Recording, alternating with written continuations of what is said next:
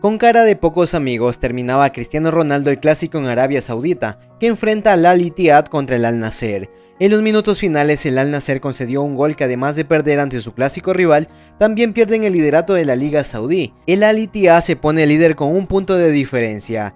Este era un partido que no se podía perder, Ronaldo lo sabía y por eso su bronca al finalizar el encuentro fue monumental. Un compañero se acercó a Cristiano para tratar de tranquilizarlo. Ronaldo no quería saber nada, reclamaba y gesticulaba muy molesto. El momento que más mostró su bronca con la derrota fue cuando estaba a punto de entrar al túnel de vestuario. Había unas botellas y Ronaldo pateó con toda la bronca.